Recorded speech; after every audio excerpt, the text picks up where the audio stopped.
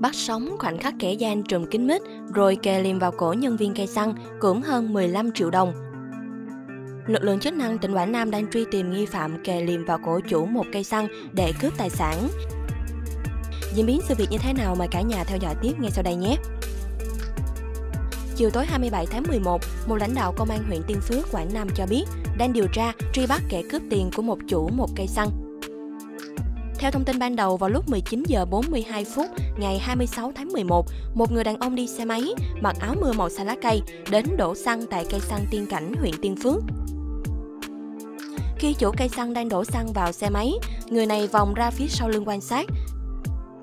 Thấy vắng người, kẻ cướp rút lưỡi liềm, vật dùng để cắt lúa cắt cỏ từ trong người ra, kề vào cổ chủ cây xăng. Quá sợ hãi, chủ cây xăng đứng nghiêng, kẻ cướp vẫn giữ nguyên cái liềm kề vào cổ, lục soát người người đàn ông. Sau khi không phát hiện thêm tiền và tài sản có giá trị, kẻ cướp ép nạn nhân quay mặt vào trong, lấy đi hơn 15 triệu đồng rồi nổ máy xe tẩu thoát. Theo lãnh đạo công an huyện Tiên Phước, đơn vị đã ghi nhận lời khai của chủ cây xăng. Hiện công an huyện Tiên Phước đang phối hợp với phòng cảnh sát hình sự, công an tỉnh Quảng Nam tập trung khoanh vùng truy xét những nghi phạm gây ra vụ cướp tài sản táo tợn này. Tuy nhiên, do trời tối, nghi phạm mặc áo mưa nên cơ quan chức năng gặp khó trong khâu nhận diện kẻ cướp.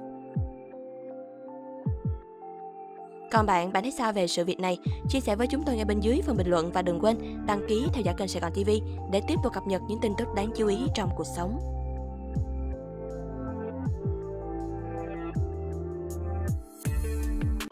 Gửi ngay tin nóng cho Sài Gòn TV qua hotline 0909 660 550 để có cơ hội gia tăng thu nhập nha.